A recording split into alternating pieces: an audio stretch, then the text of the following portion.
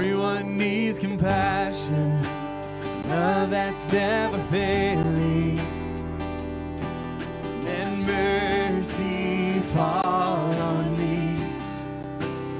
Everyone needs forgiveness, the kindness of a Savior,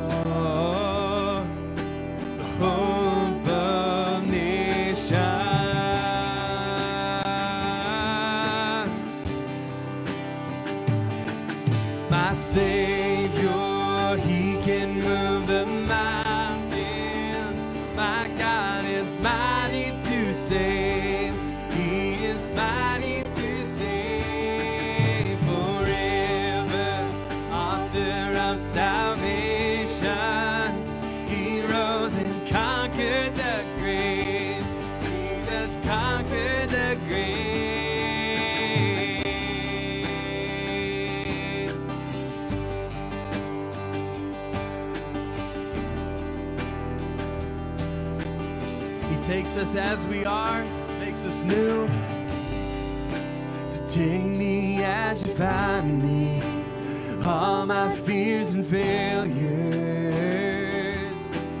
Fill my life again. I give my life to follow everything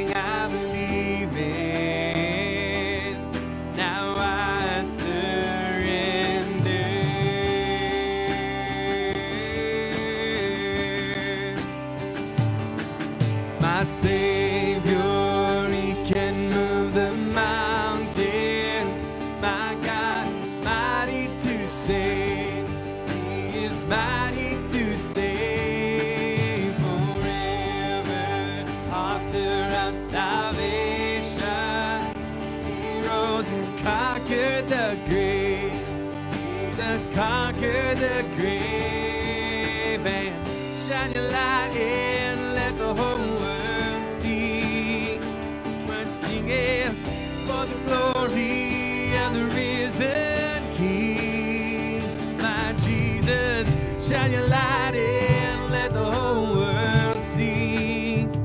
We're singing for the glory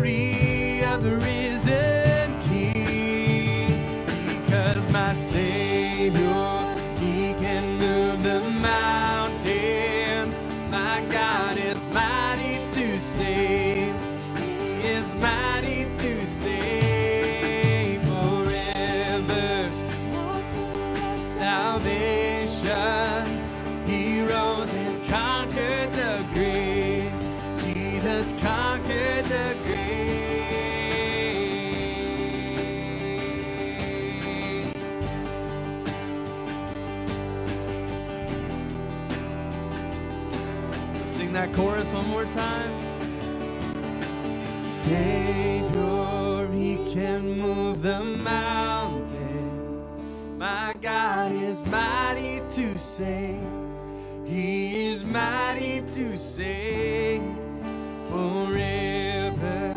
Author of salvation. He rose and conquered the grave. Jesus conquered the grave. Lord, we do thank you that you've conquered the grave, that you are the hope of the nations, Lord, to all who would call upon your name. Lord, you are reaching out your hand to us all this morning. I pray that we engage with you in Jesus' name. Amen. I'm just I didn't have my mic on on purpose. I just wanted to mess with those guys back there. Just so I, you know, make a little panic set in back there. So, uh, hey, if you got your bulletin, please open up to the ministry reminders here. Uh, got several things happening uh, today, this week. Uh, first of all, uh, we have been renovating our office space across the street, as many of you know, and we have gotten a, a great deal done on that. We're going to work the next few days to try and get uh, all that we're hoping to get done. We're going to have to hire some things out after, but uh, trying to get everything that we can do done this week. So if any of you are able to help, we would certainly love to have some help. We've got some friends here from uh, where I grew up, my, my father-in-law and some others who are helping, and they've been a tremendous help with that. Uh, but love to have, have anyone this week who can help Monday through Wednesday. That would be great.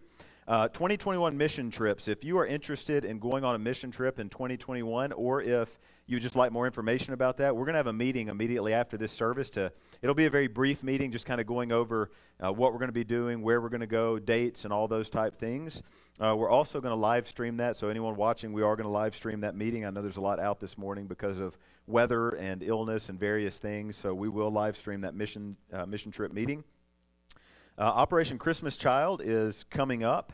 Uh, there are shoe boxes out here in the hallway you can grab. Our church goal is 200 boxes, so uh, grab some of those and uh, help us pack those up and, and send those out. Uh, I, for those of you who may not be aware, Samaritan's Purse, which is uh, Billy Graham, his son Franklin, is the, the he's the leader of that organization. And basically, what Operation Christmas Child is is we put various things for kids in those boxes, and uh, there's uh, some tracts that go in there. I think there might be a Bible that the organization puts in there, but there's uh, basic human needs things as well that go in there, and those boxes are shipped around the world to children in impoverished areas. So if you're able to and, and feel called to help with that, there's some boxes out there you can grab. Finally, uh, we're going to have our missions offering. This is something our church always gets excited about and always really steps up for. But on Sunday, December 13th, we're going to have our Christmas missions offering, and uh, that offering, uh, 100% of what comes in undesignated, we give away to the International Mission Board to help send and support missionaries around the world. Our church goal is $22,000, which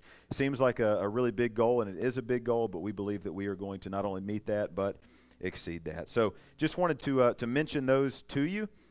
Also want to read you a couple of verses this morning. This is from the book of Lamentations. Now, you might think Lamentations is a book of lamenting. Why would we read that? We need something uplifting, especially on a snow day like this. But uh, Lamentations was written by Jeremiah, the prophet Jeremiah, the weeping prophet. And Lamentations is a lament over the fall of Jerusalem that he saw happen in 586 BC. He is weeping over that. Um, and in the first few chapters, he writes about the affliction of Israel and the difficulties, the captivity, and all of that. But then in Lamentations 3, we see this. Remember my affliction and my wandering, the wormwood and bitterness. Surely my soul remembers and is bowed down within me. And then he says this This I recall to mind. Therefore I have hope. The Lord's loving kindness indeed never ceases, for his compassions never fail. They are new every morning. Great is your faithfulness. The Lord is my portion, says my soul. Therefore I have hope in him. Let's pray. Father, right now we thank you for this text that we just read. Lord, we thank you that your mercies are new every morning. God, even the, the change in season that we are experiencing, God, that is a picture of your sustaining hand. It's a picture of your faithfulness. Year after year, the seasons change because of your sustaining hand. Thank you for your faithfulness. M- new every day are your mercies. Lord, if we were to count the blessings in our lives, as the old hymn says, Lord, we would be here a very long time, for you have blessed us abundantly. So many different ways. So, Lord, this morning as we come into this room, as we are many watching online right now, Lord, I just pray that our hearts would be lifted up to you, that we would be mindful of your grace in our lives, be mindful of your mercy. Lord, as we open up your word today, as we continue our study of the Old Testament book of Micah, as we come to chapter 3, another heavy chapter. God, I pray that we would heed the warnings we find there, that we would love you first and foremost in our lives. God, as we sing these songs, as we fellowship together, Lord, everything we do, may it be for your name, for your honor. And we pray all this in the name of Jesus. Amen.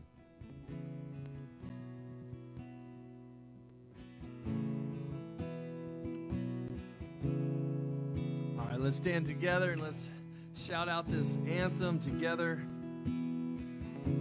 that He is our great rescuer, that we are free from sin because of the cross. He's our rescuer. He's our rescuer. We are free from sin forevermore. Oh, how sweet the sound. Oh, how grace. We will praise the Lord, our rescuer. Let's sing that again. He's our rescuer.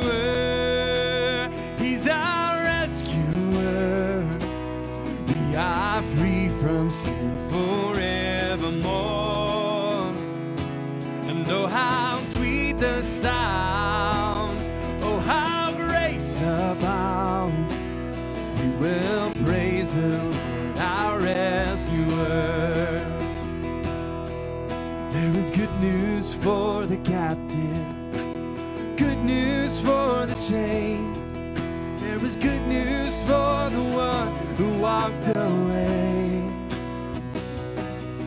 There is good news for the doubter, the one religion failed. For the good Lord has come to seek and save. He's our rescue.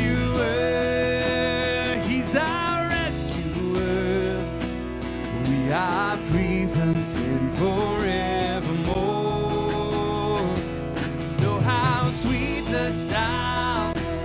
know how grace. We will praise the Lord, our rescuer. What He you from? He's beauty for the blind man, riches for the poor. He is friendship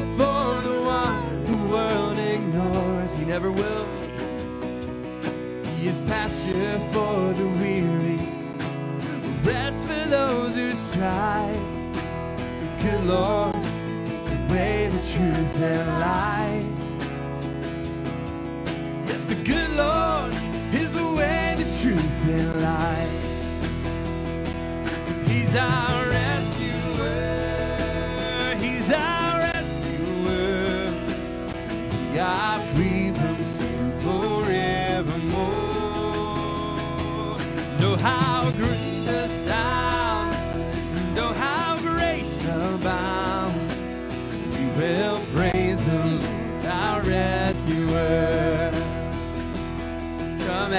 shameless.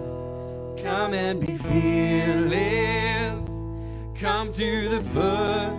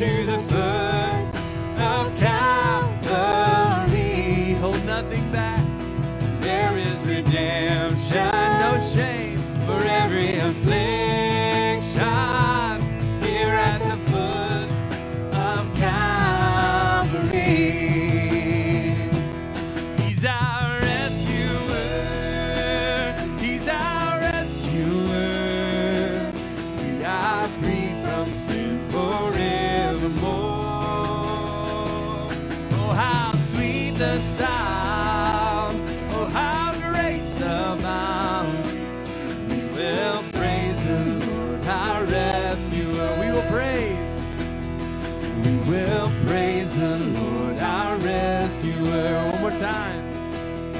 We will praise the Lord, our rescuer.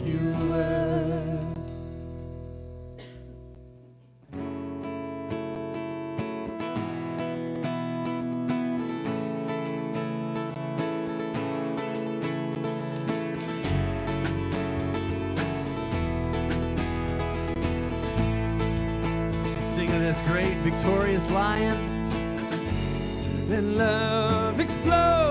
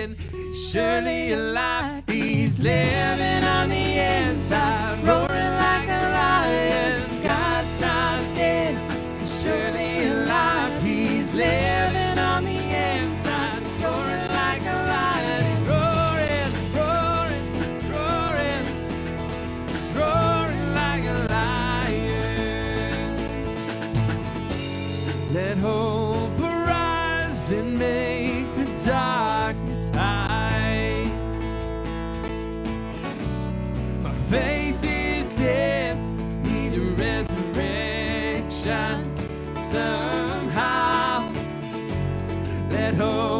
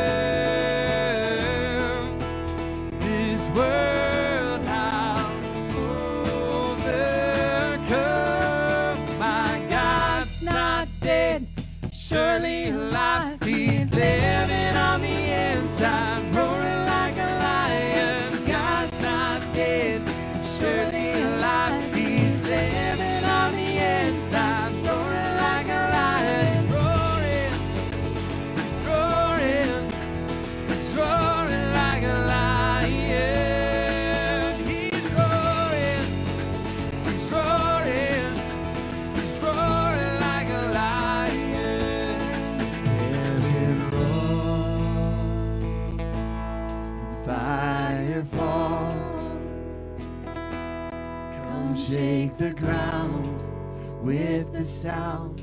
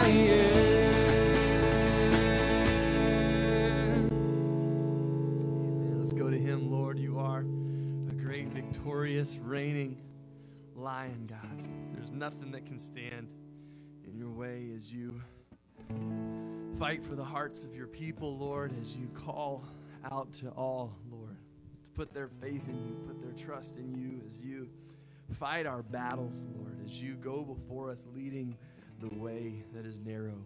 God, you are victorious in all that you do.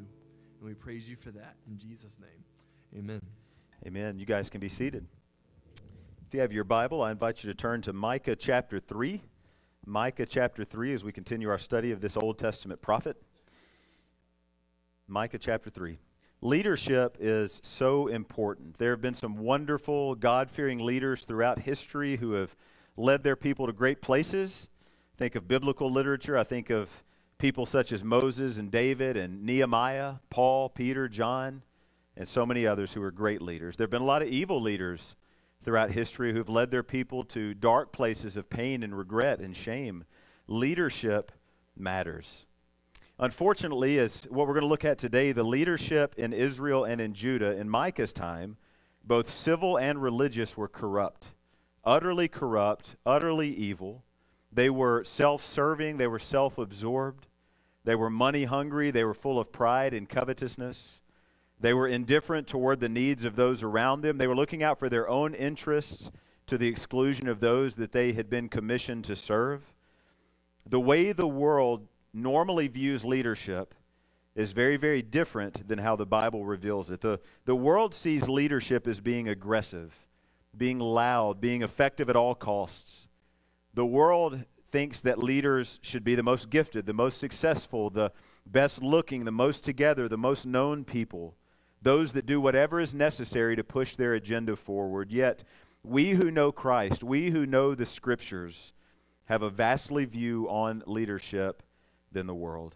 If you've been following along with us the last few weeks in our study of the book of Micah, you know that God was going to allow the northern kingdom of Israel to fall at the hands of the Assyrians in the year 722 BC.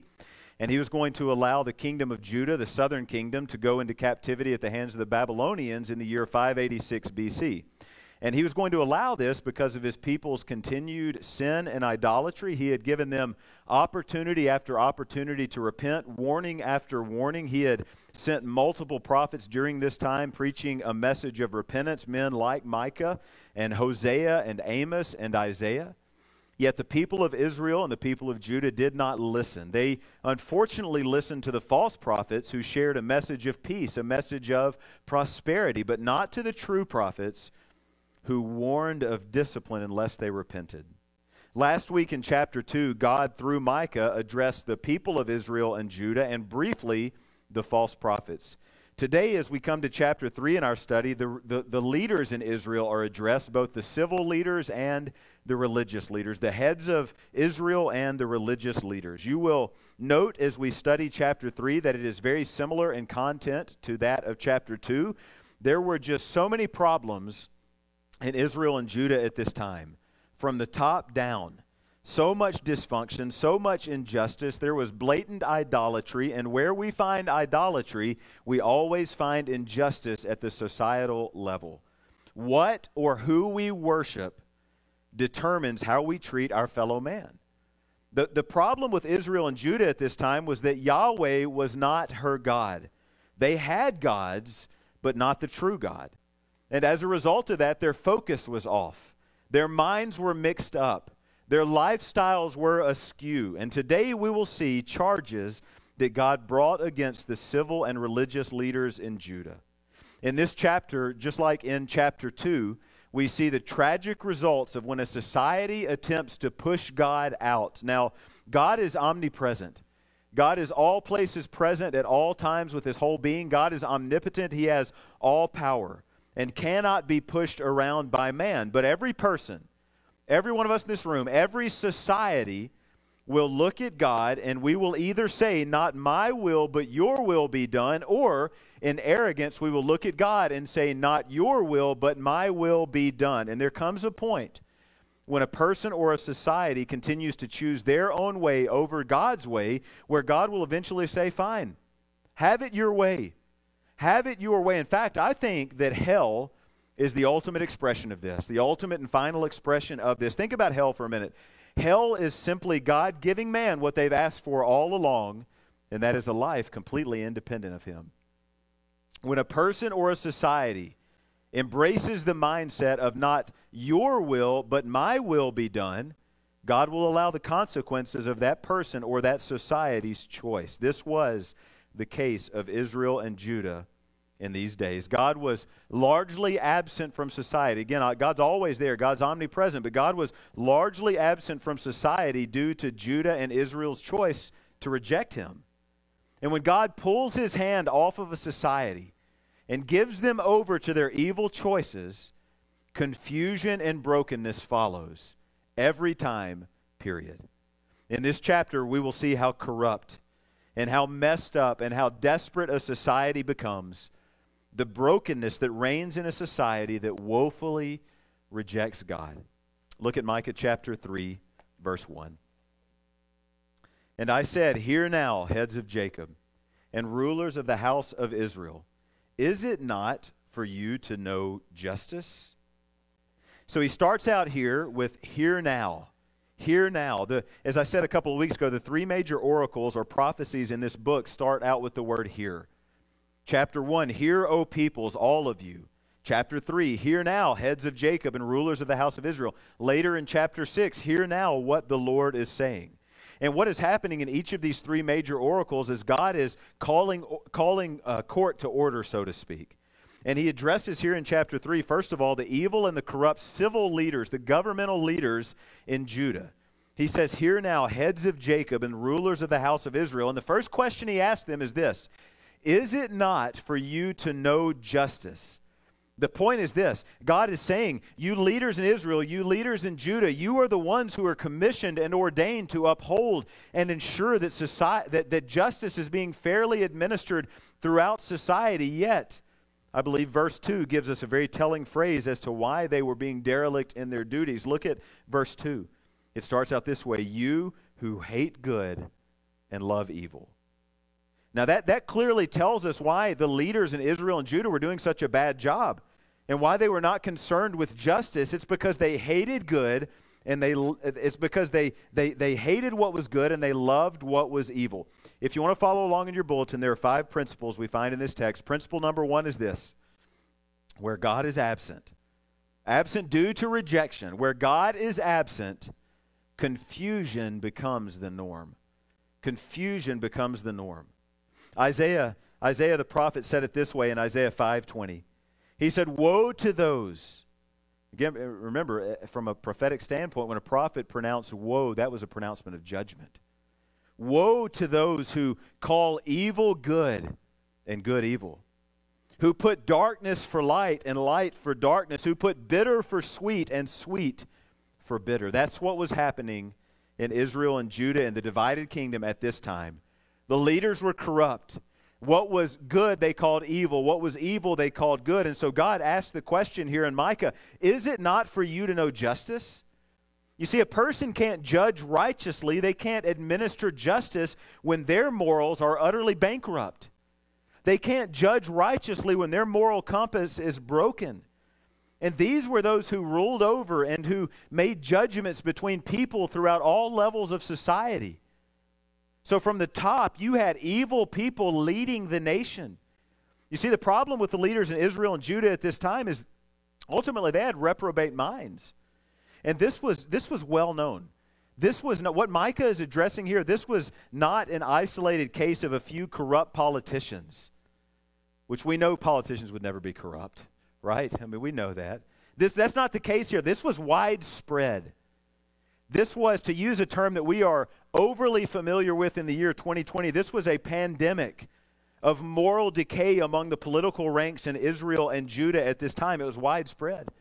Remember, I said before that the contemporary prophets of Micah were Amos and Isaiah and Hosea. Amos and Isaiah used the exact same language in their prophecies when addressing the leaders. Listen to this Amos 5 14 and 15. Seek good and not evil that you may live. And thus may the Lord God of hosts be with you, just as you have said. Hate evil, love good, establish justice in the gate. Perhaps the Lord God of hosts may be gracious to the remnant of Joseph. Isaiah 1 16 and 17, Isaiah says, Wash yourselves, make yourselves clean. Remove the evil of your deeds from my sight. Cease to do evil. Learn to do good. Seek justice. Reprove the ruthless. Defend the orphan. Plead for the widow. So we see a theme throughout this era of history in Israel and Judah. Their conduct, the leaders, their, their conduct, their inequitable judgments against others were driven by their worldview. A worldview that said evil is good and good is evil. It was ultimately a worldview that was void of God. For all practical purposes, the leaders in Israel and Judah in this day were living their lives like they were atheists, as if God were not even there as if God were not watching, as if God were, uh, were, were not even a reality. God didn't factor into the equation of their lives, and yet they are leading others. Now, from a biblical vantage point, we know that everybody worships something. Everyone worships something. Even, even the most staunch atheists today who claim that they worship nothing worship something. We all do. We have been created by God as people of worship. Our hearts are drawn to worship something. That desire to worship is placed in us by God. It is innately within us to worship something. And in the case of the civil leaders in Micah's day, they didn't worship God, they simply worshiped self. They were idolatrous. And their idolatry led to their mistreatment of others. And here's how we know look at verses 2 and 3. You who hate good and love evil, who tear off their skin from them and their flesh from their bones. Who eat the flesh of my people, strip off their skin from them, break their bones, chop them up as for, as for the pot and as meat in the kettle.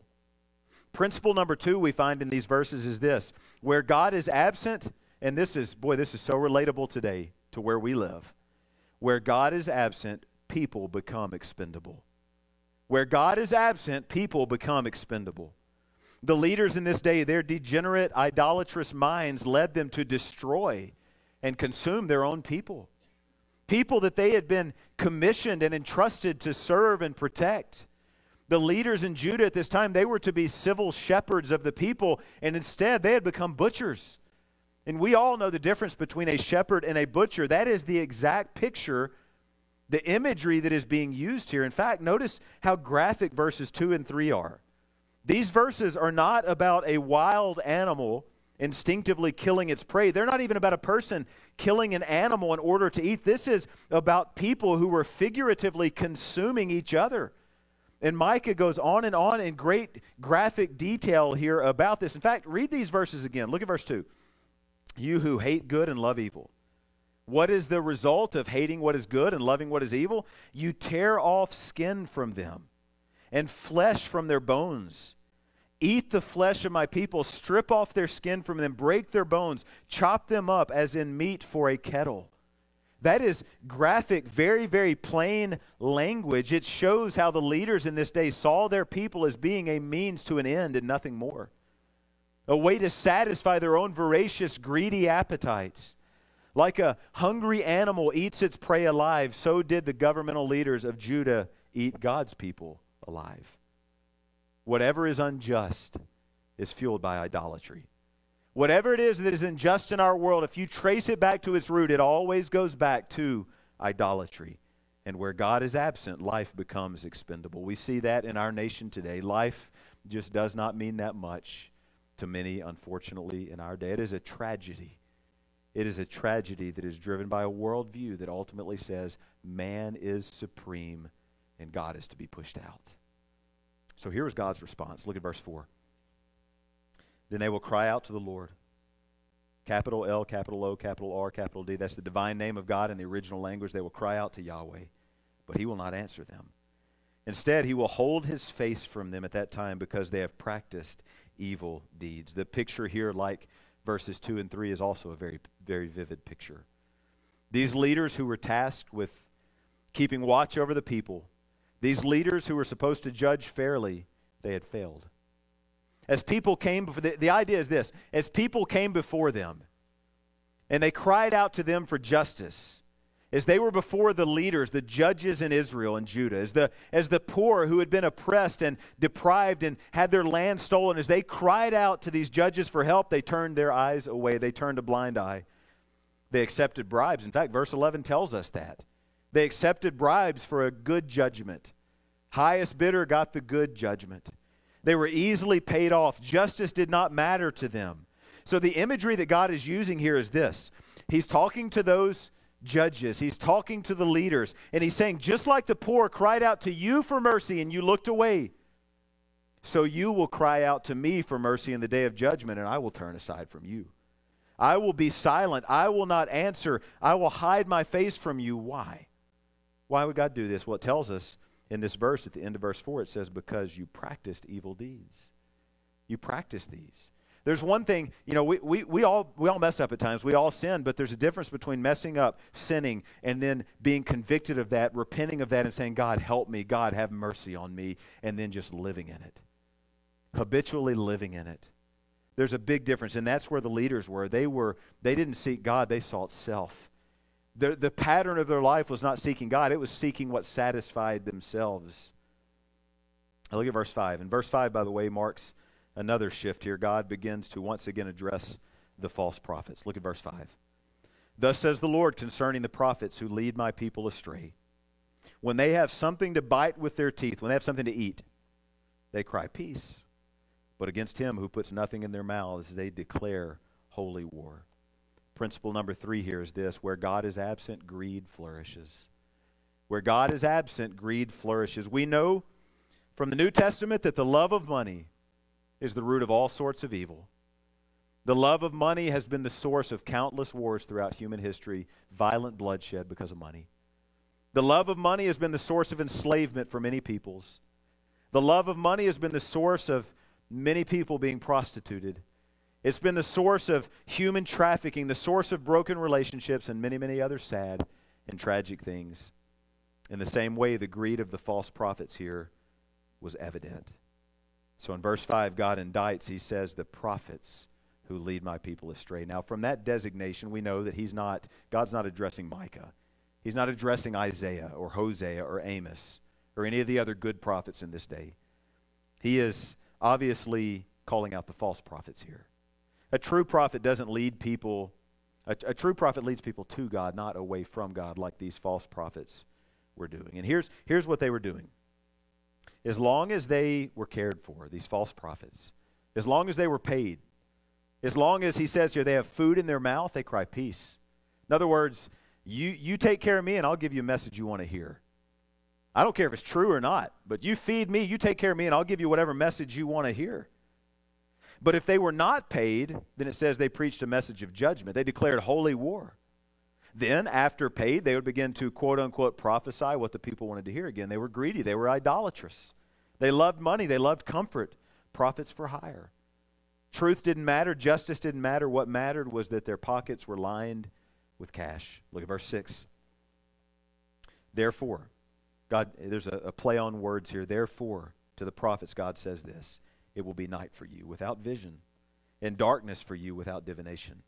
The sun will go down on the prophets, and the day will become dark over them.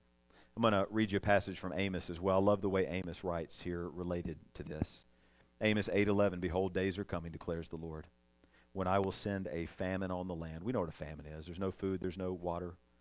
Send a famine on the land. But then he says this, not a famine for bread or a thirst for water, but a famine for hearing the words of the Lord. Going to be silence. It's going to be silence. Principle number 4 we find in this text is this, where God is absent, darkness overwhelms. Where God is absent, darkness overwhelms. The picture here is of crushing darkness overwhelming darkness and pain and shame for the false prophets. Years ago, I went uh, on a tour. Uh, it was, I believe, in East Tennessee, if I remember. It was Ruby Falls. I don't know if anyone here has been there before, but it's a underground cavern. It's a it's a cavern underground that has a waterfall underground. They don't really know where the source of this waterfall is. It's just a beautiful underground waterfall, and they put you on a uh, elevator. They take you down 300 feet or so below the soil, and they let you out. You walk in there, and there's just a beautiful waterfall there. And our tour guide said, Now we're going to turn the lights off for a minute. We want you to see how dark it is down here. Flip the lights off, and it was, you probably experienced, it was a darkness that you could almost feel. It was oppressive, it was heavy. Knowing that if that light didn't come back on, there's no way to get out of there. It was that, that you couldn't see your hand in front of your face. That's the imagery being used here for the false prophets. And the wordplay is this in the same way that they brought darkness into the land through falsehood, God said it's about to be night for the prophets. In the same way that the false prophets brought blindness to the land, pitch black darkness was descending on them. They would even turn, tragically, it says here, they would even turn to demonic divination, which was obviously forbidden by God in Deuteronomy 18 and in many other places. That's how desperate they were. Desperation would rule the day for the false prophets. But it wasn't just darkness, it wasn't just desperation, there was also shame. Look at verse 7. Verse 7 the seers will be ashamed. And the diviners, there's that word again, the diviners will be embarrassed. Indeed, they will cover their mouths, literally mustaches. They'll cover their mustaches because there's no answer from God. No answer from God. Silence. False prophets crying out to God, not your will, but our will be done. Very well. Silence. They'll be ashamed at the false prophecies that fall flat. They'll be horrified when, after telling everyone God's never going to let anything bad happen to you, peace, prosperity, invaders would conquer them. They'll cover their mouths as a symbol of shame, regret, horror, and shock. But verse 8 gives us a very different picture of the true prophet of God. A great contrast. Look at verse 8. On the other hand, Micah says, I am filled with power, with the Spirit of the Lord, with justice and courage to make known to Jacob his rebellious act, even to Israel his sin. Notice the difference there. Micah, filled with power. False prophets filled with weakness. They were sellouts, they were pragmatists. Micah, filled with power, filled with the Spirit of God. What is the overflow of that? He says, I'm courageous, a person of justice. who does and who says what is honorable in the sight of God. He calls out evil. He does not endorse evil, endorse evil. He knows what is right. He knows what is wrong. So think about the difference here. You've got truth and boldness, justice, power, the Spirit of God evident versus the false prophets, falsehood, pragmatism, greed, shame, injustice, demonism, and darkness. But here's the crazy part about this Micah was not nearly as popular in this day as the false prophets. Think about that for a minute. The very false prophets who were fleecing the flock of God, the very ones who were harming them and yet, those are the ones they chose. Those are the ones they wanted. That just shows us why Israel and, and Judah were so messed up at this time. Again, there was dysfunction at every level of society in these days, from top down. The people were idolatrous. They were following leaders who were idolatrous. They were, they, were, they were following leaders, both civil and religious, who were liars, who were greedy, who were men of injustice and bribery. Now look at verses 9 through 11. Now, hear this heads of the house of Jacob and the rulers of the house of Israel who abhor justice, who twist everything that is straight, who build Zion with bloodshed and Jerusalem with violent injustice. Her leaders pronounce judgment for a bribe, her priests instruct for a price, her prophets divine, there's third time, divine for money. Yet they lean on the Lord, saying, Is not the Lord in our midst? Calamity will not come upon us. Principle number five here, and I know this one is Boy, it's so evident in our society today. Principle number five where God is absent, perversion is normalized. Where God is absent, perversion is normalized. Perversion is seen in so many different ways in these verses. Literally, every level of society was broken. Every level had become perverted. This, by the way, is Satan's goal for all of our lives pervert that which is good, pervert that which is of God. Call injustice justice and justice injustice. Normalize sin. That is what Satan wants to do in our country. It's what he wants to do in our world, in our lives. Normalize sin. Normalize sin to the point where those who believe biblical truth are considered to be an imminent threat. Normalize sin to where people who call evil good and good evil are celebrated. They're put on a pedestal. This is who we need to look like. Which, by the way, all of this is happening today in our society. We need to pray earnestly for our nation. We need to pray earnestly for an awakening in our land. And we need to pray for revival. And listen, we need to understand that as we pray for God to raise up people within our nation to be to be to be those who share truth boldly, we also need to understand that we are those people. It is us. It is the church of the living God. It is Christians. We are the people who are to boldly share the only message that can bring awakening to our land and to our world. It is the, it is the only message that is the power of God unto salvation to anyone who will believe. That's the message we have. So as we pray for awakening, we need to say, God, here, like Isaiah, here I am, send me. Make me the vessel through which your message goes into this world. Make me the vessel through which your gospel awakens a land. Look at verse 9 again. Verse 9 Now hear this, heads of the house of Jacob and rulers of the house of Israel, who abhor justice and twist everything that is straight. Whatever is good, whatever is right, whatever is of good reputation, they twisted. They were twisted in their thinking, which always leads to twisted actions. The word, the Hebrew word here for twist, is a word that means to form into a bent or distorted shape. The idea is of taking the measuring rod of the perfectly straight character of God from which morals and ethics derive and twisting it, distorting it, trying to make a new standard of what is right, rejecting what actually is right. Again, this is so abundantly evident in our day.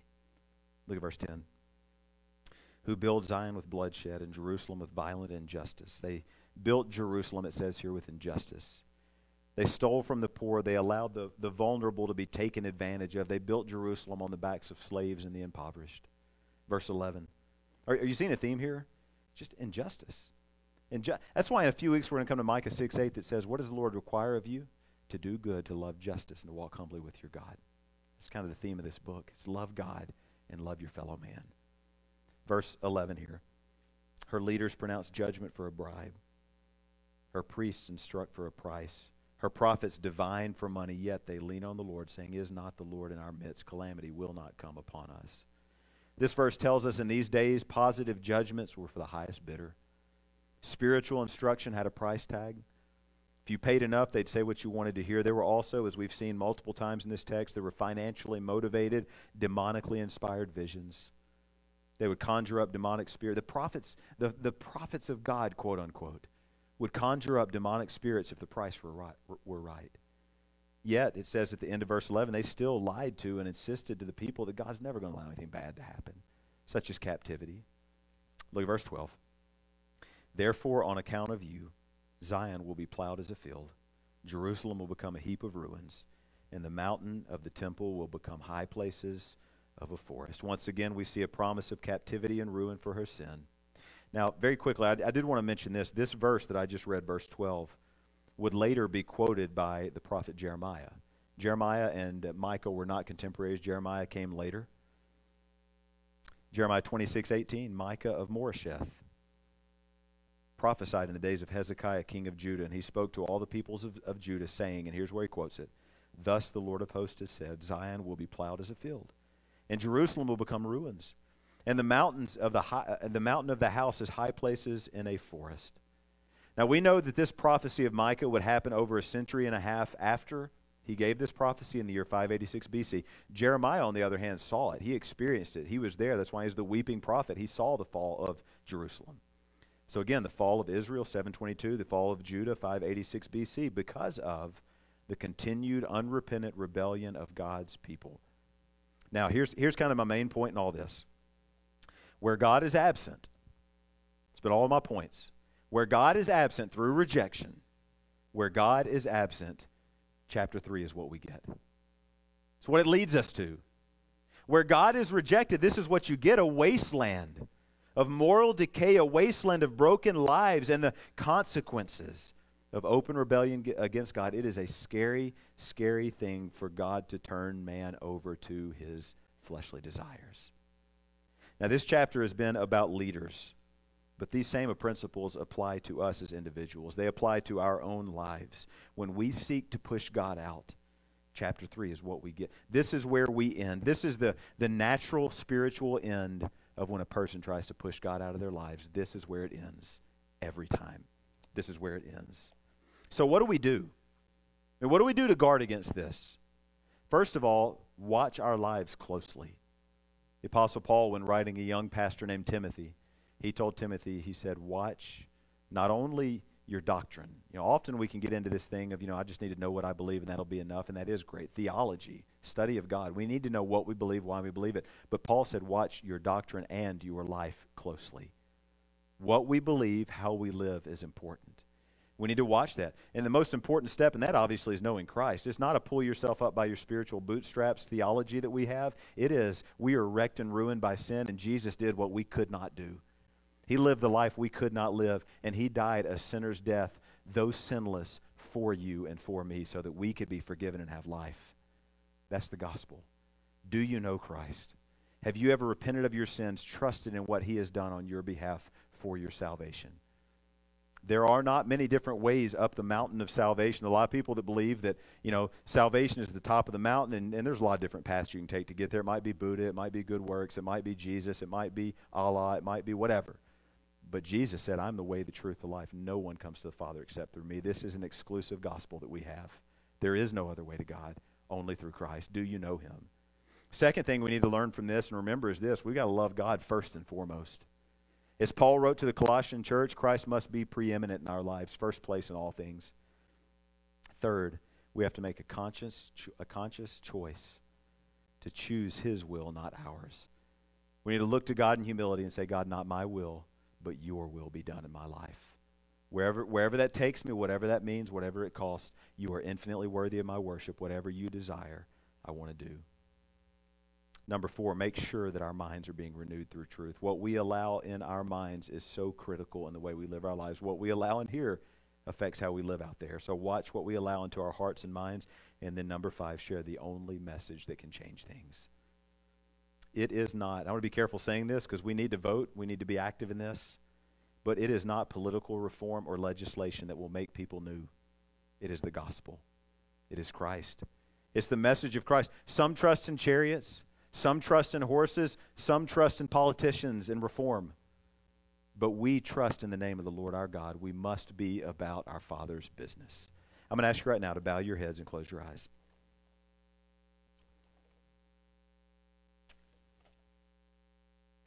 Father, right now, I thank you so much for your word today in chapter 3. God, I know that it, like chapter 2, is a very heavy chapter as, as indictments are brought against chapter 2, the people and the, the false prophets, chapter 3, the religious and the civil leaders. But God, I pray that we would heed the warnings that we find in these chapters, that we would love you preeminently, that you would be our Lord, and we would be your servants.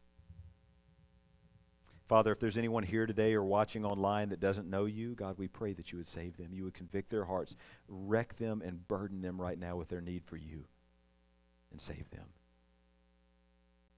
Lord, if there's anyone watching right now who's leaning on good works, leaning on ritualism, God, I pray that you would show them right now clearly that those things cannot ever save.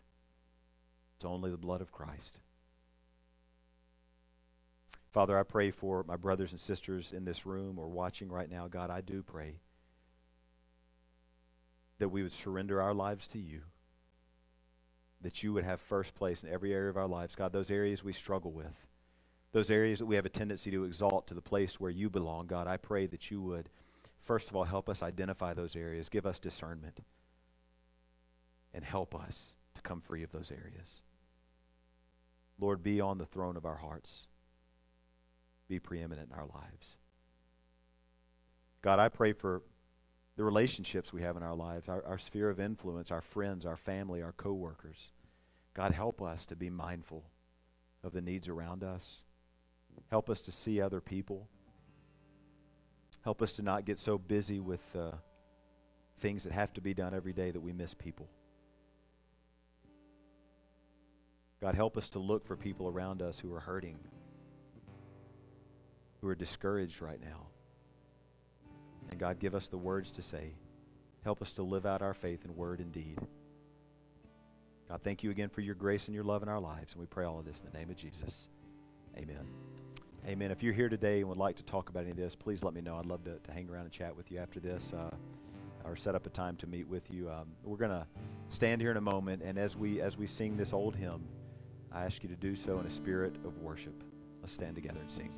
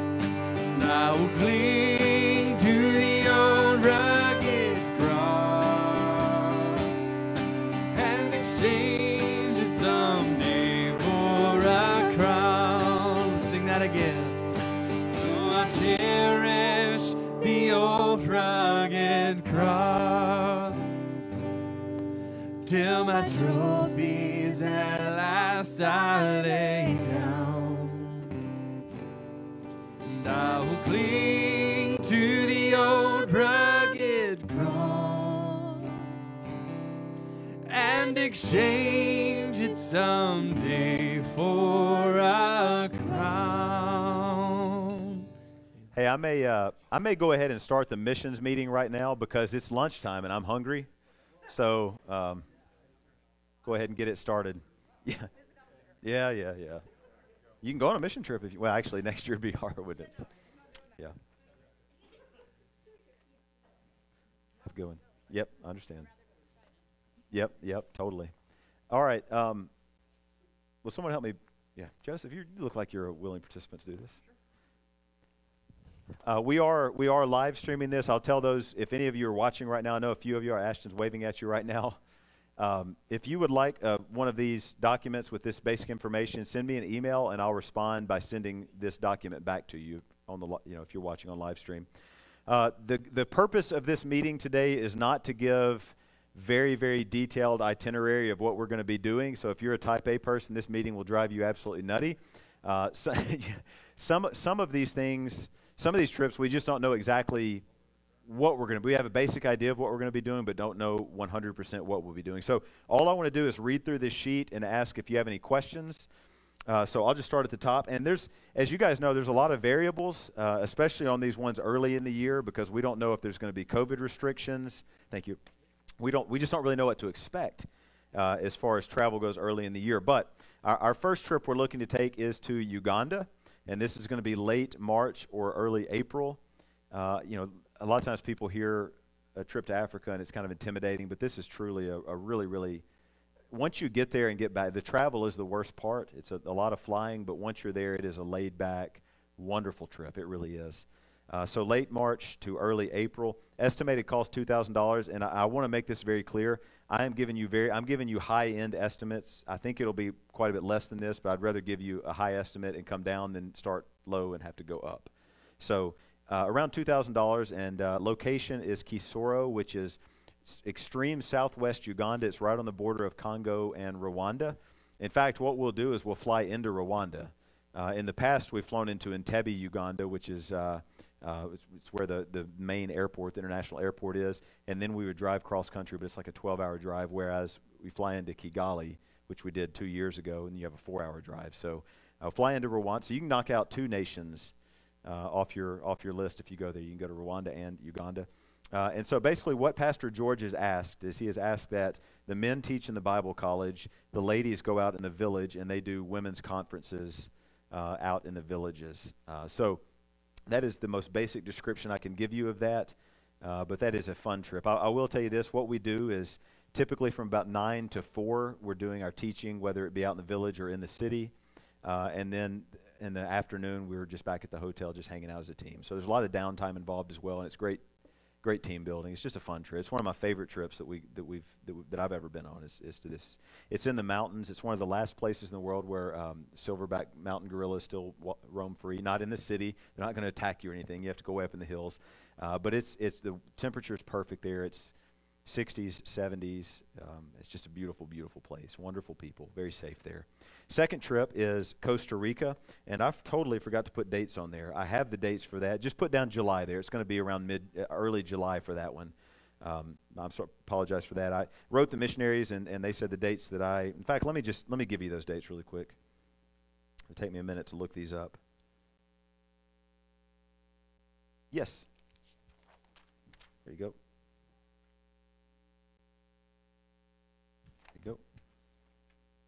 So the dates for this trip are going to be. Need one more? There you go. I got. You need one, Terry? Because I've got one left. Oh, it's okay.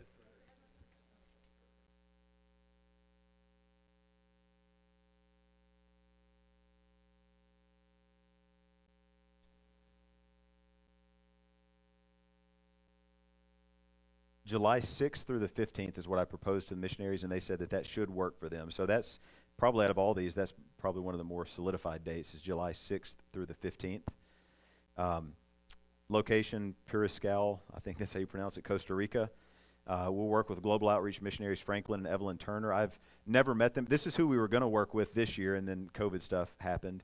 Uh, again, details here are not fully worked out, but it'll likely consist, if it's similar to last what they had for us last year, light construction, Bible studies in the village, and some basic human needs ministry is what we'll be doing there. I know that's kind of a vague description, but um, I'll have more more details as we get closer. Estimated cost thirteen hundred. Again, I, I, really do think it's going to be less than that, but it, it I just want to start a little higher. But it'll be in that in that range, which is a very very cheap uh, mission trip for something like that for that many days. Uh, the third one here, this is um, really really far away, Bismarck, North Dakota. June 10th through the 13th. Estimated cost 250 for that. That'll just be hotels mainly.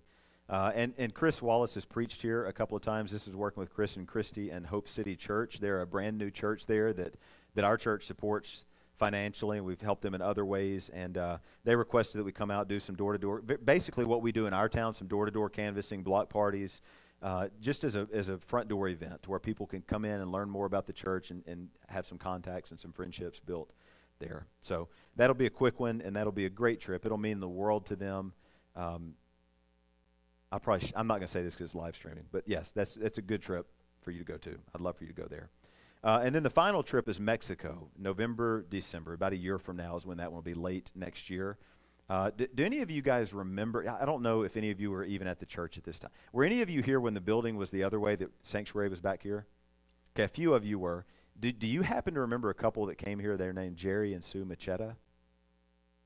You remember them? They only came for about six months, and then they they moved to Texas.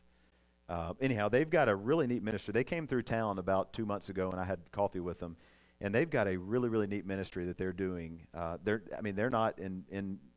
He wasn't a pastor. They're a retired couple now. He wasn't a you know they weren't in ministry or anything like that, but they just have a, a love for God and a heart for, for people, and they live near the Mexican border. And so they work, they go in several times a month into, into Nuevo Progreso, Mexico.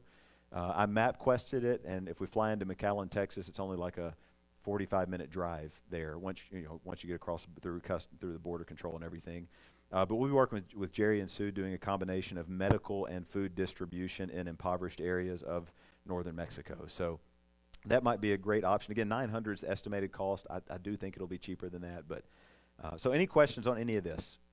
I know this is very, this is totally not detailed description, but uh, it'll be the um, around eight or nine days typically is what we what we do there, eight or nine days. And and really, it would probably be a little less than that because I know that's kind of a stretch for some, but it you know it's two days travel there, two days back, so you have about five or six days in country typically when we do that you know, five or six days of ministry, not in country, but of ministry there. So we would fly to Kigali, stay the night in a hotel there, then the next day drive into Kisoro, do five days of ministry or so, then drive back to Kisoro, stay the night there, and then fly out. So, any other questions on this? I'm. Are you hungry? I'm ready for lunch. I don't want to. I don't like long meetings, and so I'm totally fine if you don't have questions. But if you do, uh, you know, contact me, let me know, and I'll, answer any questions you have. There'll be more details coming out about these soon. Uh, I just wanted to get these to us as early as possible um, so that we could. I just I would like for you to be praying about this and have a basic idea of cost. One thing I will tell you, I know some of these these numbers can be a little bit kind of scary to you, but uh, I don't think we've ever had anyone here at our church that couldn't go because of money. If, if you know, if God calls you to go, He's going to provide for that. And, uh, and there are a lot of people in this church and in your fa- you know, families and friends who would love to help you get on a mission trip like this. We, bef- as we do a team training for each of these, we'll give you like a, a sample card that you can, you know, put your information in and, and, mail that out to different people and ask people for prayer or for, you know, uh, financial help or whatever. And people are very, very willing to help. There's a lot of people who can't go, but they, they're very willing to help others go. So don't let money be a, a factor in this. I mean, you need to work hard to try and raise it and all that, but just don't don't say, "Well, I can't do this. All these are too much." So, any other questions?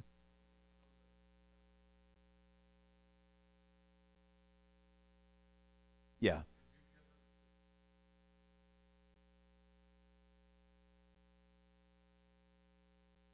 Yeah, we we would probably need to have our, our tickets booked by mid January, so I would need to know pretty quickly. If if you're interested in that trip, just come talk to me, and I can I can give you a little more details there. But uh, prep in terms of like the what we'll be doing, the work there.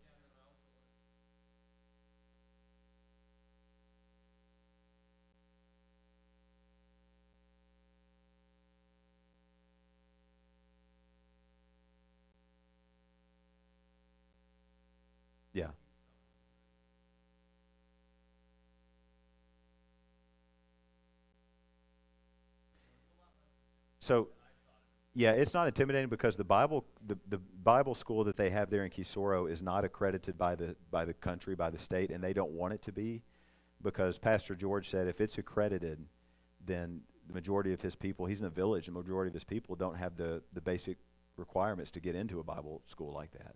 So it is more about learning. It's more about it's it's not about academics. It's about, so there's certain courses he'll ask us to teach, like spiritual formations, like how to have a quiet time, how to you know things like that. And then there's some that are more in depth. But especially for that trip, if whatever we're teaching, we will definitely have six or eight meetings beforehand and help everyone prep for that. So that's a good point. It's that one can seem intimidating. You think I'm going to, to train leaders in Africa. I'm not, but it's really not. You can do it, and uh, and we'll definitely help you along the way in that. Dave Vineyard is, I'm, it's like I'm getting real time texts. I am getting real time texts. But Dave said, What is the name of the city in Costa Rica again? Dave, it is Puriscal, P U R I S C A L. And then I have no idea what and Alex means. So you might have to text me again and tell me what that means. And then Doug Manansky said, Can't hear questions. I'm not going to repeat them all, Doug, so I'm sorry. You'll just have to ask me later about that. And then something, the guy Luke in, in uh, Hettinger is asking me if we need any vaccinations for any of the foreign missions. Uh, for Uganda, uh, you will need yellow fever vaccination, uh, which you can get um, in rapid. Typically, you have to call a little ahead to make sure they have it or they can get it in. Or you, I think some of Ashton didn't didn't uh, is Emily or is Emily in here? Didn't Emily and Carrie go to Gillette to get theirs also? Renee, yeah. Okay, Dr. Stotts, Stotts with travel medicine, Stocks with travel medicine in Rapid. Okay, perfect. Thank you. Thank you. So for Uganda, it's just yellow fever. Uh, and sometimes they want you to have that. You're supposed to have a yellow fever little booklet proving that you have that vaccination. Sometimes they ask for that, and other times they don't. But it's just best to have it so you're not having to get it done at the border. So, Ashton just sent me a text that said, This is the future. Um, so, any other questions in here? Uh, for, I'm sorry, but back to that question of vaccinations. Costa Rica, we don't need any, they said. Uh, and Mexico, I would assume we're not going to need any for that as well, but I can certainly find out about that. I don't know. Some of you guys know North Dakotans better than me. Do we need vaccinations for that trip? Might.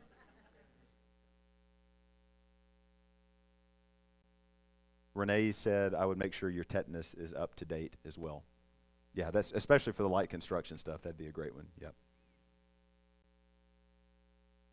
Dave Vineyard said, please feel free to tell everyone to contact him about Uganda if they want to know more about teaching, because Dave's been there a couple times and helped with that and can give you some info on that. All right, any other questions? Noah, you got any? Okay. All right, I think that's all I have then. And, it, and as, as usual, if you have any questions you think of later, just send me an email or call me or whatever, and I'll do my best to answer them. Again, more information will be available here soon when we know a little bit more details about each of these trips. So, I'd love for you guys to go. I really would. You would not regret it. God would use it in your life, regardless of which one of these you end up going on. So, I'm, can I pray for us before we leave, and then we'll then we'll head out. Father, thank you for this time. God, I do pray for everyone who is interested in this um, those who are here, those who are watching, God, I just pray that you would give us a, a, very, very strong desire to be people who go out in your name, Lord, and, and share your message.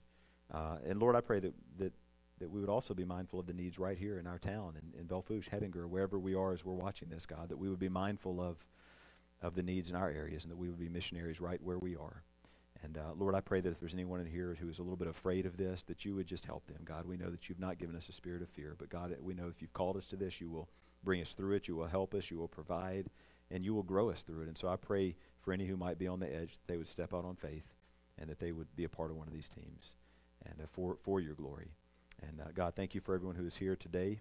And just pray you keep us safe as we travel back home. In Jesus' name.